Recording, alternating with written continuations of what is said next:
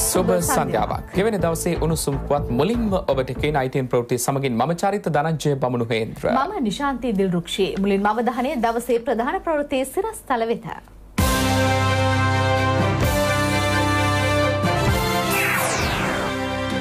ශ්‍රී ලංකාව දෙස නව මානයකින් බලන්නැයි ජනපතිගෙන් ලෝක නායකයන්ට ඇරයුම්. රටේ ආර්ථික සැලැස්ම. අපි සම්පූර්ණ අපනයන ආර්ථිකයකට යන්ට තියෙන. මහින්දගේ මාධ්‍ය නිදහස. දිනේශ් චන්දිමාල්ගෙන් ඉල්ලීමක්. මගේ ක්‍රීඩකයන්ට බයින්න පායකුළුන්ගේ ක්‍රිකට් වල තියෙන වැරදිවලට මොනහරි තියෙනවන මංගේ වගකීම බාරගන්නවා. ඉන්දියාව ජීවත්වීමට නුසුදුසු රටක් ශෂ්ඨාධීකරණය අවධාරණය කරයි. ශ්‍රී ලංකාව දෙස නව මානයකින් බලන්නයි ජනාධිපති මෛත්‍රපාල සිරිසේන මැතිතුමා ලෝක ප්‍රජාවට ආරාධනා කළා. එක්සත් ජාතින්ගේ මහමණ්ඩලේ හැත්තෑ තුන්වන සැසිවාරයේ ප්‍රධාන සැසිය අමතමෙනුයි ජනාධිපතිතුමා මෙම ආරාධනාව සිදු කළේ.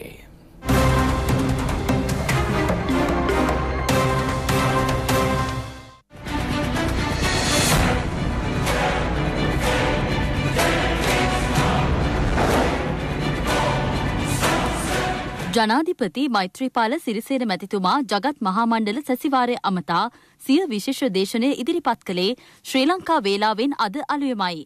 එක්සත් ජාතීන් සියලුම ජනතාවට සමීප කරවීම හා සාධාරණ සාමකාමී සහ තිරසර සමාජයක් සඳහා වූ ගෝලිය නායකත්වයේ සාමූහික වගකීම තේමාව යටතේයි මෙවර සැසිය පැවැත්වෙන්නේ. එක්සත් ජාතීන්ගේ මානව හිමිකම් කොමිසන් සභාව ශ්‍රී ලංකාවට ඉදිරිපත් කර ඇති යෝජනා ක්‍රියාත්මක කිරීමේදී සහන ලබා ගැනීමද අපේක්ෂාවක්. රටේ ස්වාධීනත්වයට ජාතික ආරක්ෂාවට සහ ත්‍රිවිධ හමුදාවේ ගෞරවයට හානියක් නොවන ලෙස කටයුතු කිරීම පිළිබඳ එක්සත් ජාතීන්ගේ මහා මණ්ඩලයට විශේෂ යෝජනාවක්ද ජනාධිපතිතුමා ඉදිරිපත් කළා. ශ්‍රී ලංකා ජනාධිපතිතුමා ඇතුළු රාජ්‍ය නායකින් රසක් ප්‍රධාන සැසයට සහභාගි වුණා. මා ඉතාමත් සතුටු වෙනවා එක්සත් ජාතීන්ගේ සංවිධානයේ හැත්තෑ තුන්වන සමුළුවට සිව්වන වරටත් සහභාගවීමට ලැබීම පිළිබඳව. මීට වසර තුනා මාරකට පෙරතිබූ ශ්‍රී ලංකාව නොවෙයි අද තිබෙන්නේ ඊට වඩා වෙනස් වූ මානවවාදී සමාජයක් පරිපූර්ණ වූ සමාජයක ජීවත්වන ජන සමාජයක ශ්‍රී ලංකාවක් කියලමට මේ හිදී විශේෂයෙන් සඳහන් කරන්න පුළුවන්. ශ්‍රී ලංකාව මධ්‍යස්ථ විදේශ ප්‍රතිපත්තියක් අනුගමනය කරන රට. ලෝකයේ සෑම රාජ්‍යයක්ම සෑම ජාතියක්ම අපේ මිත්‍ර ජාතීන් සහ මිත්‍ර රාජ්‍යයන් වසයෙන් අපි සූදතාවෙන් සලකාන්න. ද මේ යුගේ ශ්‍රී ලංකාවට ලෝකයේ කිසිදු සතුරෙක් නොමැති බා විශේෂයෙන්මා සඳහන් කරන්නට ඕන. මගේ ආදරණය මාතෘ භූමියයේ අභ්‍යන්ත්‍ර තත්ත්වයන් පිළිබඳව කතා කරන විට ප්‍රජාතන්ත්‍රවාදය මානව හිමිකම් මුලිකා ඉතිවාශිකම් මාධ්‍ය නිදහස මේ සියල්ල පුළුල් ලෙස ශක්තිමත් කර තිබෙනවා වගේම. යුද්ධය අවසන් වෙලා වසර දහයක් ගතවන අවස්ථාවක ශ්‍රී ලංකාව පිළිබඳව මා ගෞරවනීය සියලු ලෝක ප්‍රජාවගෙන් ඉල්ලා සිටිනවා අලුත් විදියට මගේ මාතෘ භූමිය දෙස බලන්නකි. නැවත යුද්ධයක්කේම වැලැක්වීමට සියලු කටයුතු කර ඇති රටක. මානව හිමිකම් පුළුල් ලෙස ආරක්ෂා කරන රටක. ආර්ථික දියුණුව සමුෘදිය හෙට දවස වෙනුවෙන් ඔබ සියලු දෙනාම අලුත් අදහස් ඇතුව මගේ උතුම් මාතෘභූමි දෙස බලා අපට සහයෝග දෙන්න කියා අපි ගෞරුවෙන් ඉල්ලාස්. යුක්තිහරුක සමාජයක ප්‍රජාතන්ත්‍රවාදී පුළුල් යුගමෙහෙවරක් කරන සමාජයක උතුම් රටක් ලෙස මගේ ජනතාවට සහ ඉදිරියට යන්නට රටට ආර්ථික සමුෘද්ධිය ඇතුව ඔබ සියලු දෙනාගේම සායෝග දෙන්න කියා ගෞරවෙන් ඉල්ලා සිටිමින් මගේ කතාව අවසන් කරනවා ස්තුතියි තෙරුවන් සරණ.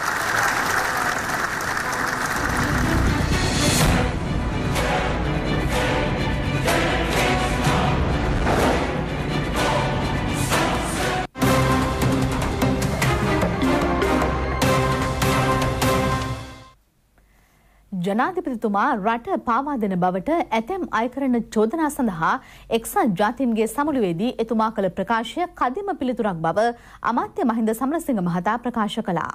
අමාත්‍යවරයා මේ බව කියා සිටිය ශ්‍රී ලංකා නිදහස් පක්ෂ මුලස්ථානයේ පැවති මාධ්‍ය හමුවේදී. බලපෑන් අපිට කරන්න එපා. ඇඟිලි ගැසීම් අපිට අවශ්‍ය නැහැ. මොකද අපිටයි යුද්ධේ කාලේ ඇති වුණු ප්‍රශ්නය වැඩිපුර තේරෙන්නේ. ඕනනම් අපි ජාත්‍යන්තරයෙන් උදව් ඉල්ලන්න. ස්වාධීන රටක් හැටියට අපිට ඊට අවස්ථා දෙන්න කියලා එතුමා ඒ රාජ්‍ය නායකයන් ඉදිරිපිට බොහොම එඩිතර නිර්භීත ප්‍රකාශයක් කරනවා. සමහරු එතුමාට නිතර නිතර නගපු චෝදනාවක් තමයි එතුමා රට පාවා දුන්නා කියලා. මහිතන්නේ ඔය චෝදනාව නගපු සියලුම දෙනාට හොඳම උත්තරේ එතුමා ඊයේ දුන්නා. ඕනම කෙනෙකුට තේරෙනවා එතුමා මව්බිමට ආදරය කරන නායකයෙක් කියලා. රට පළවෙනි තැනට තියලා හිතන ක්‍රියා කරන නායකයෙක් කියන එක එතුමා ඒ එඩිතර ප්‍රකාශයෙන් මුළු ලෝකෙටම දැනුම් දුන්න බොහොම වැදගත් ප්‍රකාශයක් එතුමා මෙතන කරන්නේ අපගේ ආරක්ෂක හමුදාවන් විසින් පරාජය කරනු ලැබුවේ ලොව ප්‍රබල ත්‍රස්ත සංවිධානයක් වන අතර අද ශ්‍රී ලංකාව නොබෙදුණු රටක් බවට පත්වී ඇත්තේ වීරෝදාර රණවිරුවන් ඉටු කළ එම යුග මෙහෙවර නිසා බව කියා සිටිනවා එතුමා. රටේ ඒකීයභාවය සුරකීම වෙනුවෙන් ආරක්ෂක හමුදාව සිදු කළ එම කැපවීම සැමදා ගෞරවයෙන් සිහිපත් කරන බව එතුමා සඳහන් කළා. වීරෝදාර රණවිරුවන් සිහිපත් කරලා ස්තුතිය ප්‍රකාශ කරනවා. ඉතින් මේ වගේ ප්‍රකාශයකට ආඩම්බර වෙන්න බැරි නම් කෘතගුණ සලකන්න බැරි නම් මම නම් හිතන්නේ ඊට වඩා එහාට යන්න අවශ්‍යතාවයක් තියෙනවා. උපරිම එතුමා රට වෙනුවෙන් මව්බිම වෙනුවෙන් අපිට මේ නිදහස ලබා දුන්න රණවිරුවන් වෙනුවෙන් සාධාරණත්වයේ වෙනුවෙන් එතුමා ඊයේ ප්‍රකාශ කරා කියන එක මම විශේෂයෙන්ම සඳහන් කරන්න කැමතියි.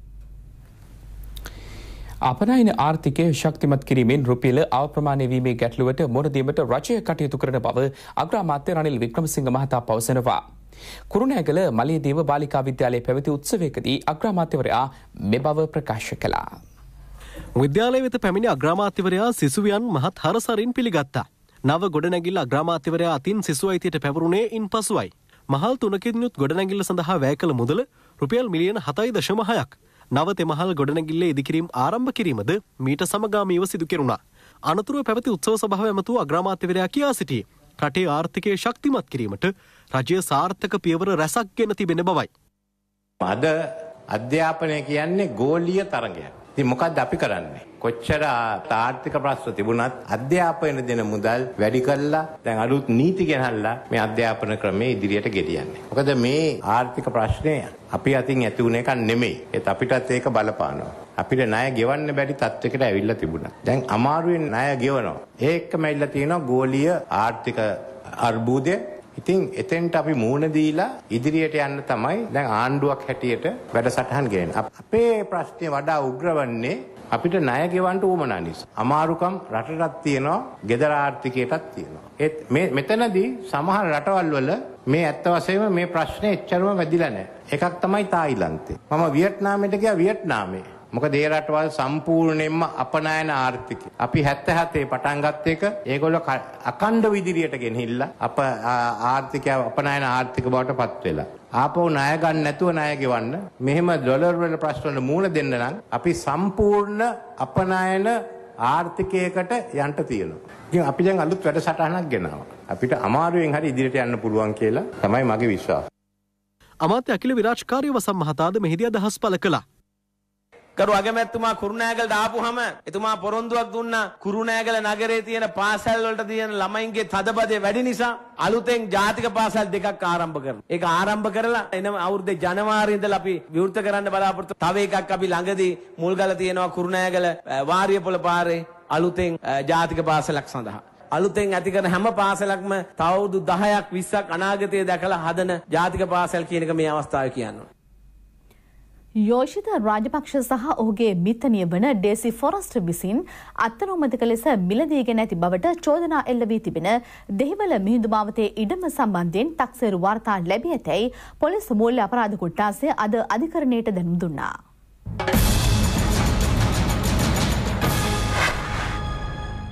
ගල්කිස්ස මහේස්ත්‍රවත් අධිකරණයේදී මෙම නඩුව විභාගයට ගැනුණා. ජෝෂිත රාජපක්ෂ අද අධිකරණය හමුවේ පෙනී සිටියේ නැහැ. ඒ ඔහු අධිකරණයෙන් අවසරගෙන විදේශගතවීම හේතුවෙන්. ඩේසි ෆොරස්ට් මහත්මිය අධිකරණයේ පෙනී සිටියා. මෙම සිද්ධියට අදාළ පරීක්ෂණවල ප්‍රගතිය පොලිස් මූල්‍ය අපරාධ කොට්ටාසිය මගින් අධිකරණයට ඉදිරිපත් කෙරුණා. අදාළ ඉඩම සම්බන්ධ තක්සේරු වාර්තාව ලැබී ඇති බව එම නිලධහරින් ප්‍රකාශ කළා. ඉදිරි කටයුතු සඳහා එය නීතිපති දෙපාර්තමේන්තුවට යොමු කළ බවද ඔවුන් පැවසවා. කරුණු සලකා බැලූ බහිස්ත්‍රාත්වරයා මෙම නඩුව ජනවාරි තිස්වනදා යළි කැඳවීමට දින නියම කළා. පුද්ගලයන් එකොළොස් දෙනෙකු පැහැරගෙන අතුරුදන් කිරීමේ සිද්ධියේ ප්‍රධාන සැකකරුවන හිටපු නාවික හමුදා ලුතිනන් කමාන්ඩ චන්දන ප්‍රසාත් හෙට්ටියාරච්චි යන අය ලබන වස දහවනදාතෙක් තවදුරටත් රක්ෂිත බන්ධනාගාරගත කෙරුණා. මේ සම්බන්ධ නඩුව කොටුව මහේස්ත්‍රාත් අධිකරණයේදී අද යළි විභාගයට ගැනුණා. එහිදී රහස් පොලිසිය අධිකරණය හමුවේ කියා සිටියේ මෙම සැකකරුට වෙනත් නමකින් ව්‍යාජ විදෙස් ගමන් පලපත්‍රයක් සහ ව්‍යාජ හැඳුනුම්පත් දෙකක් ලබා ගැනීමට සහයදුන් පුද්ගලයින් හඳුනාගෙන ඇති බවයි. සැකකරුට මැලේසියාවට යාමට උපකාර කළ බව කියන ත්‍රිරෝධරතර යදුරකු සම්බන්ධයෙන්ද විමර්ශන සිදු කෙරෙනවා. ඒ සම්බන්ධ ලේඛන පරීක්ෂා කිරීම සඳහා මැලේසියා තානාපති කාර්යාලය වෙත අද පස්වරුවේ යාමට අදහස් කර සිටින බවද රහස් පොලිස් නිලධහරින් ප්‍රකාශ කළා. සැකකරු විදේශගතව සිටියදී ඔහුගේ බිරිඳ අන්තර්ජාලය ඔස්සේ අදහස් හුවමාරු කරගෙන ඇති නමුත් ඔහු අතුරුදන්ව සිටින බවට ව්‍යාජ පැමිණිල්ලක් සිදු කර ඇති බවද මෙහිදී ප්‍රකාශ වුණා. එසේ ව්‍යාජ පැමිණිල්ලක් සිදුකිරීම සම්බන්ධයෙන් සැකකරුගේ බිරිඳට එරෙහිව නීතිමය පියවර ගන්නා බවද පොලිස් නිලධාරීන් ප්‍රකාශ කළා. පුද්ගලයන් පැහැරගෙන යාමේ සිද්ධිය සම්බන්ධයෙන් ප්‍රකාශයක් ලබා දීමට නාවික හමුදාපති ආරක්ෂක මාණ්ඩලික ප්‍රධානී රවින්ද්‍ර විජයගුණ වර්ධන රහස් පොලිසියට පැමිණීමට නියමිතව තිබුණා. ඔහු විදේශගත වී ඇති බැවින් ඉදිරි දිනක ප්‍රකාශයක් ලබා ගැනීමට කටයුතු කරන බව පැවසූ රහස් පොලිසිය විමර්ශන සිදුකිරීමෙන් අනතුරුව සිද්ධියට සම්බන්ධ ආධාර අනුබල ලබා දුන් අය අත්අඩංගුවට ගැනීමට කටයුතු කරන බවද පවසා සිටියා.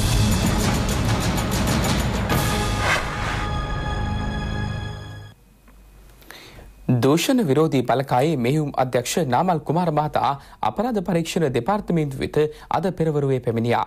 ඒ ප්‍රකාශයක් ලබා ගැනීම සඳහා එම දෙපාර්තමේන්තුවට පැමිණෙන ලෙස කළ දැනුම් දීමකට අනුවයි. ඉන් පසුව ඔහු රජයේ රස පරීක්ෂණ දෙපාර්තමේන්තුව වෙතද පැමිණියා. ජනාධිපති මෛත්‍රීපාල සිරිසේන මැතිතුමා ආරක්ෂක අමාත්‍යංශයේ හිටපු ලේකම් ගෝඨාභය රාජපක්ෂ මහතා සහ පොලිස් නිලධාරීන් කිහිප දෙනෙකු ඝාතනය කිරීමට තත් කිරීමේ උත්සාහයක් පිළිබඳව ඔහු පැමිණිලි කර තිබුණා. ඒ ත්‍රස්තවාදී විමර්ශන දිසාවේ හිටපු නියෝජ්‍ය පොලිස්පති නාලක සිල්වා මහතා ඊට සම්බන්ධ බව පවසමින් මේ අතර නාමල් කුමාර මහතා අපරාධ පරීක්ෂණ දෙපාර්තමේන්තුවට පැමිණි අවස්ථාවේ මාධ්‍ය හමුවේ මෙසේ අදහස් පළ කළා. මම විශ්වාස කරන අපරාධ පරීක්ෂණ දෙපාර්තමේන්තුව මේකේ විධිමත් පරීක්ෂණයක් පවත්වයි සාර්ථක විසඳුමක් ලබා දෙයි ආරක්ෂාවට පොලිසිය නිලධාරීන් දෙදෙනෙක් ගෙදරට යොමු කරලා ඉන්නවා. නමල් කුමාර මහතා අද රජ රස පරීක්ෂණ දෙපාර්තමේන්තු හමුවේ පෙනී සිටියේ අදාළ දුරකථන සංවාදවල ඇතුළත් කටහඬ පිළිබඳ පරීක්ෂණයට සහයවන ලෙස ඔහුට කර තිබූ නියෝගයට අනුවයි. මේ අතර ත්‍රස්තවාදී විමර්ශන දිසාවේ තිබූ ස්වයංක්‍රීය ගිනි අවි දෙකක් අපරාධ පරීක්ෂණ දෙපාර්තමේන්තුව භාරයට ගත් බවට පළ වූ මාධ්‍ය වාර්තා සත්‍යයෙන් තොර බව පොලිස් මාධ්‍ය ප්‍රකාශක කාර්යාලය අවධාරණය කරනවා. මෙවැනි ස්වයංක්‍රීය ගිනි අවි කිසිවක් මෙම විමර්ශනයේදී අපරාධ පරීක්ෂණ දෙපාර්තමේන්තුව මෙතෙක් සිය භාරයට ගෙන නොමැති බවද එම නිවේදනයේ සඳහන්. මේ අතර මෙම සිද්ධිය සම්බන්ධයෙන් අත්තරංගුවට ගත් ඉන්දිය ජාතිකයා පිළිබඳ අද පැවති මාධ්‍ය හමුවේදී අදහස් පළ කළ පොලිස් මාධ්‍ය ප්‍රකාශක පොලිස් අධිකාරී රුවන් ගුණසේකර මහතා. එම ඉන්දයානු ජාතිකයාගේ නම මර්සිල් තෝමස්. ඔහුව අපරාධ පරීක්ෂණ දෙපාර්තමේන්තුව මගින් සැප්තැම්බර් විසි එක්වනිදා අත්තඩංගුවට අරගෙන තිබුණා. ඔහුව අත්තඩංගුවට ගැනීමට හේතුවනේ මේ නාමල් කුමාර කියන අය විසින් කරපු දැනුන්දීමක් අනුවයි. මේ ඉන්දයානු ජාතිකයා දෙදස් දාහත වර්ෂය ජනවාරි මාසෙදී ලංකාවට පැමිණ තිබුණා. ලංකාවට පැමිණීමෙන් අනතුරු ඔහු ප්‍රදේශ කිහිපයකම පදිංචේලා නතර වෙලා ඉඳලා තිබුණා.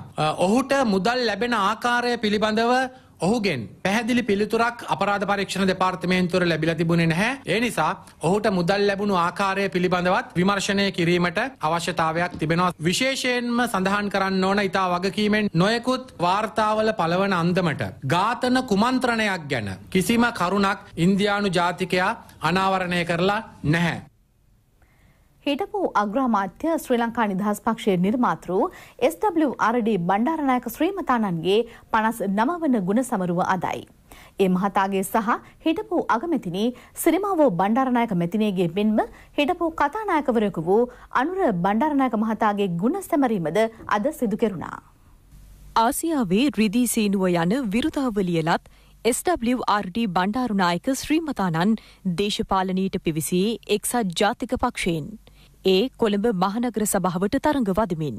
පසුව ශ්‍රී ලංකා නිදහස් පක්ෂය පිහිට වූ ඔහු එක්දහස් නවසය පනස්හයේ මහමැතිවරණය ජයගෙන අග්‍රමාත්‍ය දුරයට පත් වනා. සංක වෙද ගුරු ගොවි කම්කරු යන පංච මහා බලවේග පෙරටුකොට විප්ලවීය වෙනසක් ඇතිකිරීමට ඒ මහතා කටයුතු කළේ සමාජයට සැබෑ පූර්වාදර්ශයක් ගෙන දෙමින්. තම සේවය සඳහා බණ්ඩාරුනායක මහතා ගුරුකොට ගත්තේ මිනිසාගේ පරම යුතුකම මිනිසාට සේවය කිරීම යන්නයි. සාහසිකයෙකුගේ වෙඩිපහරින් ඒ මහතා ඝාතනයට ලක් වූයේ එක්දහස් නවසය පනස් නවේ සැප්තැම්බර් විසි හය වනදායි. SWRD බණ්ඩාරුනායක ශ්‍රීමතානන්ගේ පනස් නවවන ගුණසඹරුවට සමගාමීව සිරිමා වූ බණ්ඩාරුනායක මැතිනියගේ සහ අනුර බණ්ඩාරුනායක මහතාගේ ගුණසැමරීමද සිදු කෙරුණා. හොරකොල්ල සමාධීය අසලදී සැමරුම් උත්සවයක් පැවැත්වුණේ. හිටපු ජනාධිපතිනී චන්ද්‍රිකා බණ්ඩාරුනායක කුමාරතුංග මහත්මිය ඇතුළු පවුලේ ඥාතීන් පුෂ්ප පහර දැක්වුවා. ජනාධිපති මෛත්‍රීපාල සිරිසේන මැතිතුමා වෙනුවෙන් අමාත්‍ය නිමල් සිරිපාලද සිල්වා මහතා පුෂ්ප පහර දැක්වුවා. කතානායක කරු ජයසූරිය මහතා සහ මංගල සමරවීර මහින්ද අමරවීර දුමින්ද දිසානායක යන අමාත්‍යවරුන් ඇතුළු ජනතා නියෝජිතයෙන් රැසක්ද ඊට එක්වුණා. ආබාධ සහිත වූවන් සඳහා රෝධපුටු ප්‍රධානයක්ද සිදු කෙරුණා. ගෘහස්ත ගෑස් සිලින්ඩරයක මිල අද මධ්‍යම රාත්‍රයේ සිට සංශෝධනය කර තිබෙනවා. ඒ අනුව කිලෝග්‍රෑම් 12.5ක ගෘහස්ත ගෑස් සිලින්ඩරයක මිල රුපියල් 195කින් ඉහළ තබා තිබෙනවා. ගෑස් සමාගම කළ ඉල්ලීමකට අනුව මිල ඉහළ දැමීමට කැබිනට් මණ්ඩලයේ එකඟතාව පළ කර තිබෙනවා. මිල තීරණය කිරීම ජීවන වියනම් කමිටුවට පැවරුණේ ඒ අනුවයි. මෙම මිල සංශෝධනයෙන් පසුව එදස් පන්සිය තිස් අටක්ව පැවති කිලෝග්‍රෑම් දොළහි දශම පහක ගෑස් සිලින්ඩරයක් අද මධ්‍යම රාත්‍රයේ සිට රුපියල් එදා සත්සිය තිස් තුනක් දක්වා මිල ඉහළ නැංවෙනවා. LP ගෑස් බෙදාහරින්නන්ගේ සංගමය මේ සම්බන්ධයෙන් කරුණු දැක්වීමට මාධ්‍ය හමුවක් කැඳවා තිබුණා. එහිදී අදහස් දැක්වූ LP ගෑස් බෙදාහරින්නන්ගේ සංගමයේ මාධ්‍ය ප්‍රකාශක DP සෝමදාස මහතා.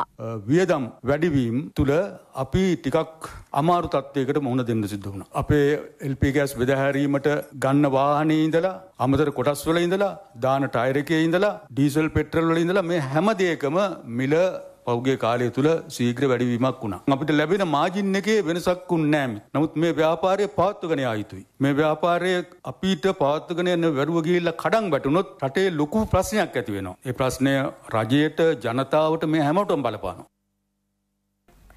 ශ්‍රී ලංකන් යාලයින් ශ්‍රී ලංකා කේටරින් සහ මිහින් ලංකා යන සමාගම්වල සිදුවී ඇතැයි කියන දූෂණ සහ අක්‍රමිකතා සම්බන්ධයෙන් විමර්ශන සිදු කරන ජනාධිපති කොමිසම අද රැස් වුණා. අද කොමිසම හමුවේ සාක්ෂි ලබා දුන්නේ ශ්‍රී ලංකන් ගුවන් සමාගමේ මූල්‍ය කළමනාකරන ප්‍රධානී යසන්ත දිසානායක මහතායි. දෙදහස් දහය වසරේදී ශ්‍රී ලංකන් ගුවන් සමාගමේ ව්‍යාපාරික සැලස්මක් සඳහා සමාගමක් තෝරාපත් කර ගැනීම සඳහා සාමාජිකයින් පස් දෙනෙකුගෙන් යුත් කමිටුවක් සභාපති නිශාන්ත වික්‍රමසිංහ තෝරාපත් කළ බව දිසානායක මහතා ප්‍රකාශ කළා. එම කමිටුව සඳහා තෝරාපත් කරු තිබුණේ ශ්‍රී ලංකන් ගුවන් සමාගමේ අධ්‍යක්ෂවරුන් වන නිහල් ජයමාන්න මනිලාල් ප්‍රනාන්දු සහ ආචාර්ය ක්‍රිස් නෝනිස් යන අයද ප්‍රධාන විදායක නිලධාරී මනෝජ් ගුණවර්ධන සහ මූල්‍ය කළමනාකරන ප්‍රධානී යසන්ත දිසානායක යන අයයි. සමාගම් නවයකින් සමාගම් හතරක් තෝරාගෙන තිබූ බව ඔහු සඳහන් කළා. මෙම සමාගම් තෝරා ගැනීමේ අවසන් අධීරයේදී තමා සහ ප්‍රධාන විදායක නිලධාරී මනෝජ් ගුණවර්ධන කටයුතු කළ බව ඔහු කියා සිටියා. එම තෝරා ගැනීම් සිදු කළ ක්‍රමවේදය පිළිබඳ කොමිසම ඔහුගෙන් ප්‍රශ්න කළ විට ඔහු කියා සිටියේ එම තෝරා ගැනීම් සම්බන්ධයෙන් කිසිදු ලියවිල්ලක් තමා සතුව නොමැති බවයි. ඒ පිළිබඳ ලියවිලි මනෝජ් ගුණවර්ධන මහතා ළඟ තිබිය හැකි බව ඔහු කියා සිටියා. එම අවස්ථාවේදී කොමිසමේ සභාපති විශ්‍රාමික ශ්‍රේෂ්ඨාධිකරණ විනිසුරු අනිල් ගුණරත්න මහතා විමසා සිටියේ අදාළ ලිපිගුණු සම්බන්ධව තමා නොදන්නේ නම් ඒවායේ බහරකාරත්වය පැවතියේ කාසතුවද යන්නයි. තවද මේ සඳහා ලකුණු දීමේ පටිපාටියක් තිබුණේ නම් එය එම ලිපිගුණුවල ඇතුළත් විය යුතු බවත් එය එසේ නොවීම හේතුවෙන් එය අතුරුදන් වී ඇත්තැයි කොමිසමේ සභාපතිවරයා සාක්ෂිකරුගෙන් විමසා සිටියා. ඊයේ සාක්ෂි ලබාතුන් මනෝජ් ගුණවර්ධන මහතා කියා සිටියේ මෙම සමාගම් තෝරා ගැනීම පිළිබඳ ලේකේවිලි යසන්ත දිසානායක මහතා ළඟ තිබිය හැකි බවයි. ජනාධිපති නීතිඥ අතිරේක සොලිසිටර් ජනරාල් නීල් උනම්බුව. ජේෂ්ඨ රජයේ අධිනීතිඥ ෆස්ලි රසික් සහ රජයේ අධිනීතිඥ සජිත් බණ්ඩාර සමග පෙනී සිටිමින් සාක්ෂි විභාගය සිදු කෙරුණා. ITN Youth with Talent Third Generation ප්‍රවර්ධන චාරිකාව අද ආරම්භ කෙරුණා. මෙම රියලිටිය සඳහා ලියාපදිංචි වූ තරුණ තරුණයන්ට මෙම ප්‍රවර්ධන චාරිකාවේදී ඊට අවස්ථාව හිමිවනවා. Youth with Talent Third Generation ප්‍රවර්ධන චාරිකාවේ ආරම්භය සිදු වූයේ ITN පරිශ්‍රයෙන්. ඒ අයිටන් මාධ්‍යජාලයේ සභාපතිනී තිලකා ජයසුන්දර ජාතික තරුණ සේවා සභාවේ සභාපති එරන්ද වැලි අංගේ යන මාත් මාත්පින්ගේ ප්‍රධානත්වයෙන්. ITN ප්‍රධාන විදායක නිලධාරී චන්දන තිලකරත්න සමනධිකාරී අරුණ විජයසිංහ යන මහතුරුන් මෙන්ම අනුග්‍රාහක ආයතන නියෝජනය කරමින් පිරිසක්ද ඊට එක්ව සිටියා. ප්‍රවර්ධන චාරිකාවේ රැගෙන යන යුත් විත් ටැලන්ට් සුවිශේෂ කුසලානය ITN ප්‍රවර්ධන කළමනාකරු සමන්ත රත්නායක මහතා විත මෙහිදී පාර කෙරුණා. විශේෂ ආරාධිතින් ප්‍රවර්ධන රථයේ සමරු සටහනක් තබමින් සුබ පැතුම් දෙක් කළා. සම්මාන රැසකට පාත්‍ර වූ යුත් විත් ටැලන්ට් රියලිටියේ නිර්මාණ අධ්‍යක්ෂ සඳරුවන් ජයවික්‍රම මහතා වෙත විශේෂ ඇගම් තිලනයක්ද මෙහිදී පිරිනැමුණා. කිෂු ගෝමස් චිත්‍රාල් සෝමපාල හා උමාරා සිංහවංශ යන යුත් විත් ටැලන්ට් විනිසුරු මණ්ඩල සාමච්චකින් මෙම අවස්ථාවට එක්ව සිටියා. අනතුරුව youth with talent third generation ප්‍රවර්ධන චාරිකාවේ රථ පෙරහැර ගමන් ආරම්භ කළා. කළුතර ප්‍රදේශයට පැමිණි ප්‍රවර්ධන චාරිකාවට හිමි වූයේ උණුසුම් ප්‍රතිචාරයක්. ජවසම්පන්න දරුණයට හොඳම අවස්ථාවක් ලබා දුණු දහඩියේ රියලිටිය යුත් විත් ටැලන්ට් කියන එක අපි ඔබට මතක් කරනවා. අදින්නේ අපි ඔබේ පුරවරේ විශේෂයෙන් අපි මතක් කරන්න ඕනේ මේ වෙලාවේ යුත් විත් ටැලන්ට් කිරුළ අරගෙන යන මේ ප්‍රවර්ධන චාරිකාවට උන්ගේ සුබ පැතුම් එකතු කරන්න මේ වෙලාවේ එකතු වෙලා ඉන්නවා කියන කාරණේ අපි මතක් කරනවා. ලංකාවේ තියෙන සුපිරිම රියලිටියක් තමයි යුත් විත් ටැලන්ට්. මම ඇඟ ඉදි පැටෙනු බලන්න ගියාම අපිට ළමයින්ට ඒ තරම් දක්ෂතාවයල් තියෙනවද කියලා හිතන එක දැක්කම ස්තුති කරනවා ITN එකට ළමයිගේ දක්ෂතා රටට එලි දක්වනවට. ඉතින් මට හරි සන්තෝෂයි මේ යුත් විත් ටැලන්ට් එක ජාත්‍යන්තර මට්ටමේ තියෙනවා. ඊළඟ එකත් බලාපොරොත්තු වෙනවා. ප්‍රෝග්‍රෑම් එක මේට ගේනවා නම් හොඳයි. චාරිකාව අධදිනය වැඩසටහන් ගාල්ල ප්‍රදේශයෙන් අවසන් කිරීමට නිමිතයි. හෙට උදෑසන සිට මාතර ප්‍රදේශයේදී ප්‍රවර්ධන චාරිකාවේ කටයුතු ක්‍රියාත්මක කරනවා. ලංකාවේ දහඩියේ රියලිටිය ආණ්ඩුව ජාතික ආරක්ෂාව අනතුරේ දමා ඇති බවට චෝදනා කරන පිරිස්වලට රාජවිරෝධී ක්‍රියා සහ ත්‍රස්තවාදය වැළැක්වීමේ පනත් කෙටුම් පත පිළිබඳව කිසිදු අවබෝධයක් නැතැයි දේශපාලන විචාරකයන් චෝදනා කරනවා. ශ්‍රී ලංකා ආණ්ඩුක්‍රම ව්‍යවස්ථාවේ දා හතරවැනි වගන්තියෙන් නිත්‍යානුකුල් ලෙස අදහස් ප්‍රකාශනයේ නිදහස ලබා දී තිබෙනවා. එය එක්සත් ජාතීන්ගේ මානව අයිතිවාසිකම් පිළිබඳ විශ්ව ප්‍රකාශනයේද සඳහන්. එසේ තිබියදී පසුගිය ආණ්ඩුවේ අත්නෝමතික ක්‍රියා සම්බන්ධයෙන් අනාවරණය කළ මාධ්‍යවේදීන් ත්‍රස්තවාදය වැළැක්වීමේ පනත යටතේ අත්අඩංගුවට ගැනීමට රාජපක්ෂවරුන් ක්‍රියා කළා. ආගම් අතර ඇති පරස්පරතා පිළිබඳ පොතක් ලියූ සාරා මාලනී පෙරේරා නම් ඉස්ලාම් ලේඛිකාව රාජ්‍ය විරෝධී චෝදනා යටතේ රඳවා තබාගෙන ප්‍රශ්න කළා. ත්‍රස්තවාදී බිල්ලා පෙන්වමින් පසුගිය ආණ්ඩුව විරුද්ධ අදහස් මර්ධනය කළේ ඒ අයුරින්. එක්දස් නවසය හැත්තෑ නවේ අංක හතලිස් අට දරන ත්‍රස්තවාදය වැලක්වීමේ පනත අහුසි කරන්නට යාපාලන ආණ්ඩුව තීරණය කර තිබෙන්නේ මෙවැනි තත්ත්වයක් තුළයි. මෙම පනත තාවකාලික විධවිධාන පනතක් වීම නිසා ඊට වඩා බලතල සහිත පනතක අවශ්‍යතාව පසුගේ කාලය පුරාම අවධාරණය කෙරුණා. එසේම උගත් පාඩම් හා ප්‍රතිසංවිධාන පිළිබඳ වාර්තාවෙන්ද මේ පනත කඩනමින් සංශෝධනය කළ යුතු බව දක්වා තිබුණා. එම කරුණු සැලකිල්ලටගෙන තවදුරටත් ජනතාව මර්ධනය කිරීමට යොදාගත නොහැකි පනත් කෙටුම් පතක් ආණ්ඩුව ඉදිරිපත් කළා. මේ යටතේ අත්තරංගොඩ ගන්නා සැකකරුවන්ට ඉහළම ප්‍රමිතියේ මානව හිමිකම් ප්‍රතිපාදන සලසා තිබෙනවා. නවීන තාක්ෂණය සහ විශේෂඥ සේවා යොදාගෙන විමර්ශනය කිරීම සැකරුවන් සම්බන්ධයෙන් විමර්ශන කරන නිලධාරීන්ට නීතිමය ආරක්ෂාව සැලසීම වැනි සාධනීය කරුණුද මෙහි ඇතුළත්. කෙසේ වෙතත් ඇතැම් පාර්ශ්ව චෝදනා කරන්නේ මෙම පනත් කෙටුම් පත ජාත්‍යන්තර අවශ්‍යතා ඉටු කිරීමක් බවයි. එසේම සැකරුවන්ට නීතිඥයන් සමග සම්බන්ධතා පැවැත්වීමට ඉඩ ලබා දී තිබීම වැනි කරුණුද ඔවුන්ගේ චෝදනාවලට ඇතුළත්. එහෙත් මානව හිමිකම් පිළිබඳ පුළුල් කතාබහක් ඇති වී තිබෙන වර්තමානයේ තවදුරටත් මර්ධනය වැනි අශිෂ්ට කටයුතු වෙනුවෙන් මෙවැනි පනත් කෙටුම් පතක් යොදා නොගැනීම වර්තමාන ආණ්ඩුවේ ශිෂ්ට ලක්ෂණයක් බවයි දේශපාලන විචාරකයන්ගේ අදහස වී තිබෙන්නේ. දැන් විදෙස් පුවත්.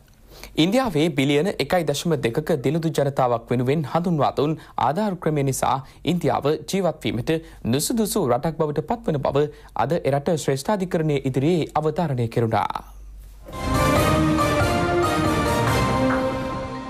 ඉන්දිය ජනතාවගෙන් බිලියන එකයි දශම දෙකකට හඳුනා ගැනීමේ පත්‍රයක් නොමැතිවීම හේතුවෙන් ඔවුන් රාජ්‍ය ආයතනවලදී බලවත් දුෂ්කරතාවන්ට ලක් වුණා. එරට ජනතාවගෙන් මිලියන හැට පහකට වලංකු විදේශ ගමන් බලපත්‍රයක් ඇති අතර තවත් මිලියන දෙසියකට පමණයි රියතුරු බලපත්‍ර තිබෙන්නේ. මේ නිසා විශ්‍රාම වැටුප ආහාර සලාක ඇතුළු රජයේ දීමනා ශිෂ්‍යත්ව ග්‍රාමීය ජනතාවට රැකියා ලබාදීම ගැටලු සහගත වී තිබුණා. මේ හේතුවෙන් දෙදහස් දහය වසරේදී කොංග්‍රස් පක්ෂ ආණ්ඩුව මෙම ආධාර කාඩ්පත් ක්‍රමය හඳුන්වා දුන්නා. ඒ සඳහා ජනතාවගේ බැංකු ගිනුම් පිළිබඳ සහ දුරකථන ඇමතුම් පිළිබඳ විස්තර ලබා ගැනීම බරපතල විවේචනයට ලක්වුණා. එය පෞද්ගලිකත්වය පිළිබඳ අයිතිය උල්ලංඝනය කිරීමක් බව සඳහන් කරමින් එරට ශ්‍රේෂ්ඨාධිකරණයට පෙත්සම් තිහක් ඉදිරිපත් කෙරුණා. මෙම පෙත්සම් සලකා බැලීමෙන් අනතුරුව එරට ශ්‍රේෂ්ඨාධිකරණය තීන්දු කළේ ආධාර කාඩ්පත් ක්‍රමය සඳහා ලබාගන්නා පෞද්ගලික තොරතුරු පිටතට යාම වලක්විය යුතු බවයි. අගවිනිසුරු දීපක් මිශ්‍රා ප්‍රමුඛ පංචපුද්ගල විනිසුරු මඩුල්ලක් හමුවේ මෙම පෙත්සම විභාගයට ගැනුණා. මෙම තත්ත්වය යටතේ ඉන්දියාව ජීවත්වීමට නොහැකි රටක් බවට පත්වන බවයි විනිසුරු චන්ද්‍රවූත් පවසා තිබුණේ. මෙම ක්‍රමේ නිත්‍යානුකූල භාවය පිළිබඳ නිරීක්ෂණය කිරීමට ස්වාධීන අධිකරණයක් පිහිටුවීම යෝග්‍ය බව විනිසුරුවරුන් මෙහිදී පෙන්වා දුන්නා. ඉන්දියාවේ පෞද්ගලිකත්වය පිළිබඳ අයිතිය දෙදහස් දාහත වසරේදී හිටපු ශ්‍රේෂ්ඨාධිකරණ අගවිනිසුරු ජේ.එස්. කෙහාර් මූලික අයිතිවාසිකමක් ලෙස ප්‍රකාශයට පත්කර තිබුණද මෙවැනි තත්ත්වයක් පැවතීම ගැටලුකාරී බවයි විදෙස් විචාරකයින් පෙන්වා දෙන්නේ. දැන් ක්‍රීඩාපුවත්. එංගලන්ත ක්‍රිකට් කණ්ඩායමේ එළඹෙන මෙරට සංචාරයේදී ශ්‍රී ලංකා කණ්ඩායමේ ටෙස්ට් හා එක්දින නායකත්වය දිනේශ් චන්දිමාල්ට ලැබී තිබෙනවා. එක්දින කණ්ඩායමේ උපනායකයා ලෙස පත් කර ඇත්තේ තිසර පෙරේරා. මෙම සංචාරයේ නිල ගුවන්විදුලි බාධ්‍යානුග්‍රහය දක්වන්නේ ITN FM. මේ අතර ශ්‍රී ලංකා එක්දින ටෙස්ට් ක්‍රිකට් නව නායකයා ප්‍රේක්ෂකයන්ගෙන් ඉල්ලීමක් කරනවා. දැන් එස්සල්ල සාතිකය සමගින් වීමස්ටෙලා සෙට්ටියෝගන්. Be healthy, be active. ගොඩක් සන්තෝසයි. මොකද මාව ට්‍රස් කරලා මට තේරුම් කමිටුව සහ ශ්‍රී ලංකා ක්‍රිකට් ආයතනය මේ අවස්ථාව ලබා දුන්න. ඉතින් ලොකු අභියෝගයක් නායකෙක් විදියට වගේම ක්‍රීඩකෙක් විදියට ඒ වගේම කණ්ඩායමට විශේෂයෙන්ම අපේ එක්දින තරඟවල ප්‍රතිඵල දිහා බැලුවම ඉතින් මම මගේ කාලයේ ශ්‍රමය දැන් ඉඳන් දානවා කොහොමද මේ කණ්ඩායම ස්ථාවර තත්වයකට? ඒ කියන්නේ තරඟ ජයග්‍රහණය කරලා බෑ. අපි තරඟාවලි ජයග්‍රහණය කරන්නේ කොහොමද කියන එකට වැඩ කරන්න. ඉතින් මං හිතන්නේ ඒකට ක්‍රීඩකයන්ගේ වැරද්දක් තියෙනවා නම් මම කියන්නේ ක්‍රිකට් වල ඒ සියලුම වගකීම් බාරගන්න මම කණ්ඩායමේ නායකයෙක් විදියට ලෑස්ති වෙනවා. මගේ ක්‍රීඩකයන්ට බයින්න එපා ඒගොල්ලොන්ගේ ක්‍රිකට් වල තියෙන වැරදි වලට මොන හරි තියෙනවා නම් මම ඒ වගකීම බාර ගන්නවා. අපේ ඉන්න ප්‍රේක්ෂකයන් ඒගොල්ලොන් ක්‍රිකට් එකට ආදරේ රයිට් ඉතින් අපි වුණත් තරඟ පරදින්න කැමති නැහැ. නමුත් අපි ක්‍රීඩකයන් මහන්සි වෙනවා එතනට යන්න. මට නායකයා විදියට ඉල්ලන්න තියෙන්නේ ඔබ තමුන්නාන්සලාගෙන් මගේ කණ්ඩායම වෙනුවෙන් ඒ දේ පමණයි. ප්‍රවෘත්ති විකාශයෙන් අනතුරුව තත්පර එකසය සුව විශේෂන්ගේ බලාපොරොත්තු වන්න. රාත්‍රී දාහයට යළිත් මුණ ගැසමෝ. සුභරාත්‍රයක්. www.itnnews.lk